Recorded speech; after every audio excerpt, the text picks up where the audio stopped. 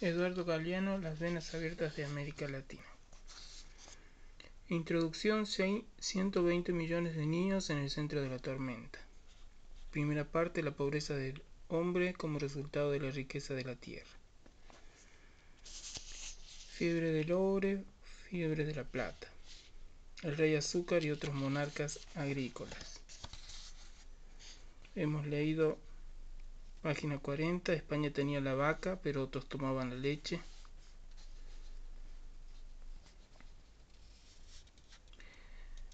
Página 106, gracias al sacrificio de los esclavos en el Caribe, nacieron las máquinas de James White y los cañones de Washington. Página 106.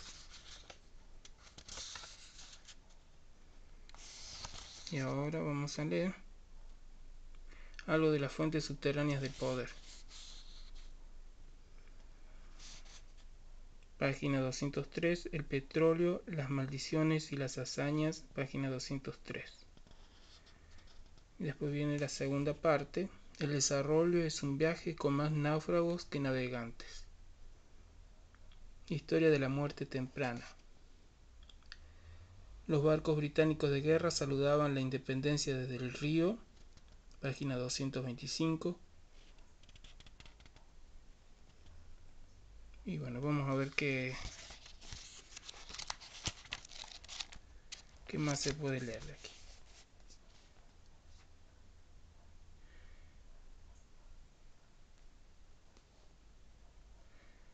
Eduardo Galeano dice, escribí las venas para difundir ideas ajenas y experiencias propias que quizás ayuden un poquito en su realista medida a despejar los interrogantes que nos persiguen desde siempre. ¿Es América Latina una región del mundo condenada a la humillación y a la pobreza? ¿Condenada por quién?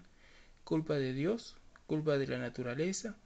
¿No será la desgracia un producto de la historia hecha por los hombres y que por los hombres puede por lo tanto ser deshecha?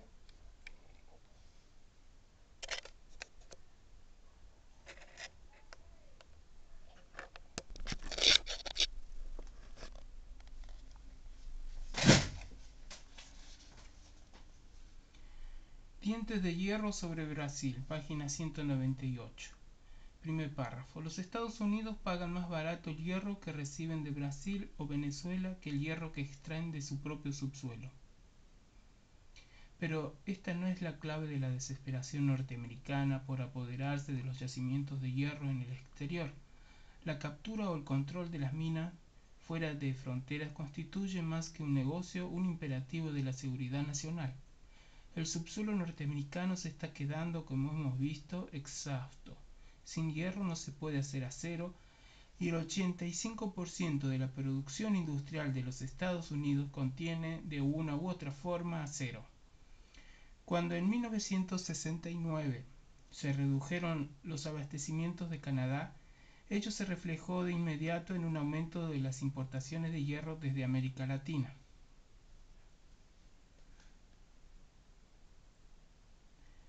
Pasamos a la página 199. Primer párrafo. Gracias a la información que recogió y divulgó allá por 1910 un Congreso Internacional de Geología reunido, reunido en Estocolmo, los hombres de negocios de los Estados Unidos pudieron por primera vez evaluar las dimensiones de los tesoros escondidos bajo el subsuelo de una serie de países, uno de los cuales, quizá el más tentador, era Brasil. Pasamos a la página 200. Primer párrafo. La Saint John había solicitado un empréstito al Exim Bank. No tuvo suerte hasta que la Hanna se apoderó de la empresa. Se desencadenaron a partir de entonces las más furiosas presiones sobre los sucesivos gobiernos de Brasil. Los directores, abogados o asesores de la Hanna, Lucas López, José Luis Buloes Pedreira, Roberto Campos, Mario da Silva Pinto, Otavio Gouveia de Bouloes eran también miembros, al más alto nivel, del gobierno de Brasil y continuaron ocupando cargos de ministros, embajadores o directores de servicios en, los ciclos siguientes.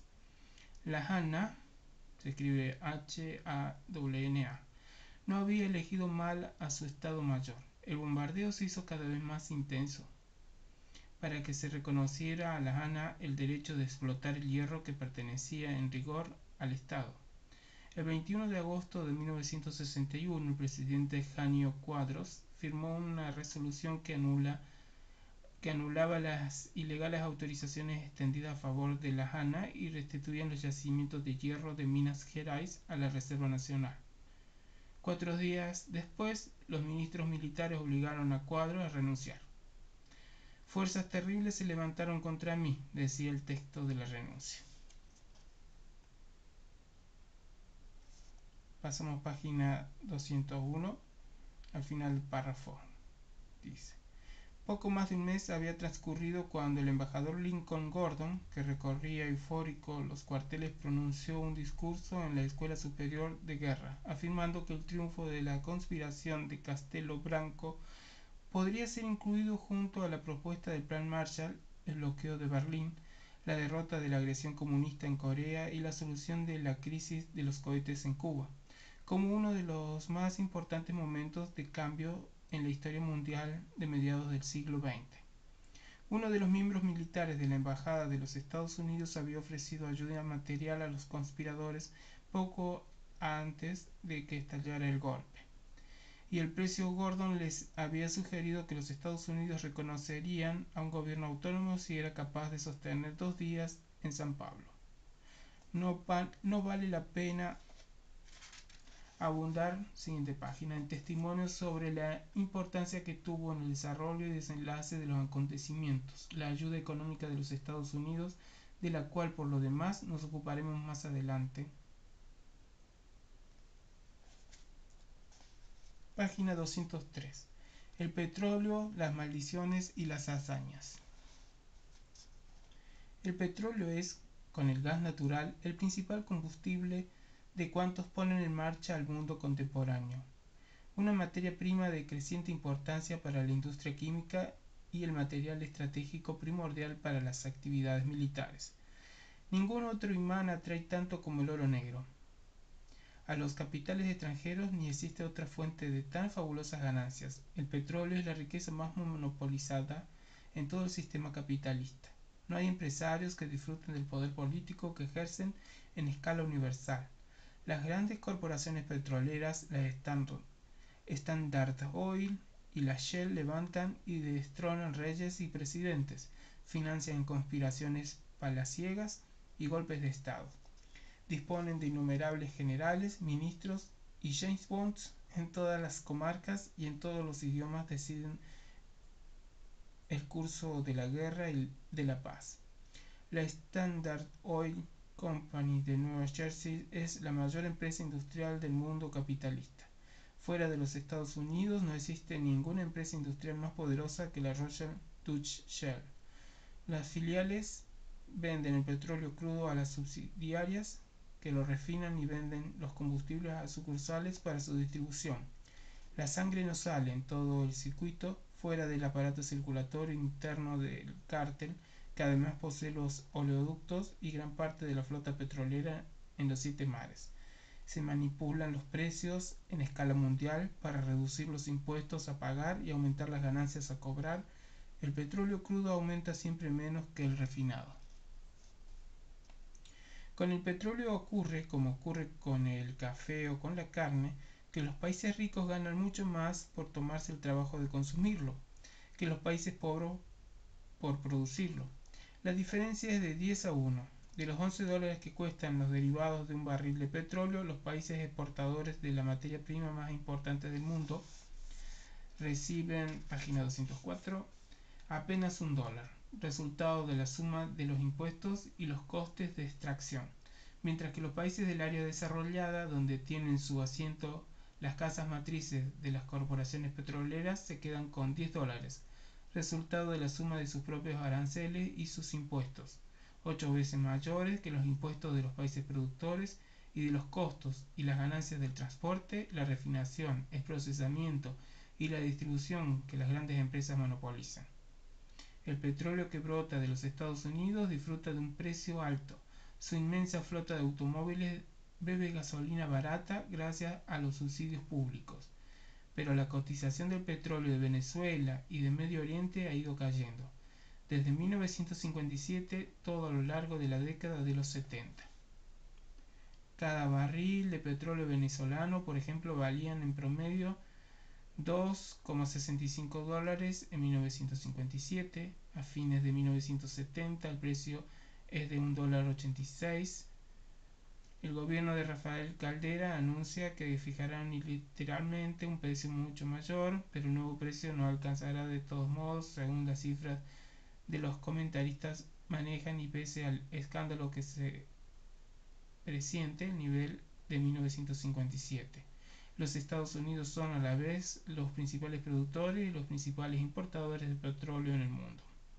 En la época en que la mayor parte del petróleo crudo que vendían las corporaciones provenían del subsuelo norteamericano, el precio se mantenía alto. Durante la Segunda Guerra Mundial, los Estados Unidos se convirtieron en importadores netos y el cártel comenzó a aplicar una nueva política de precios. La cotización se ha venido abajo sistemáticamente.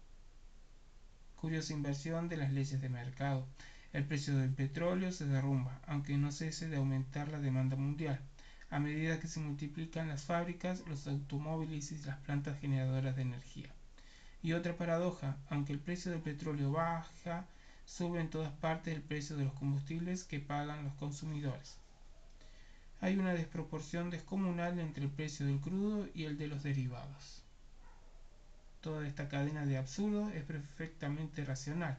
No resulta necesario recurrir a las fuerzas sobrenaturales para encontrar una explicación, porque el negocio, el negocio del petróleo en el mundo capitalista está, como hemos visto, en manos de un cártel todopoderoso.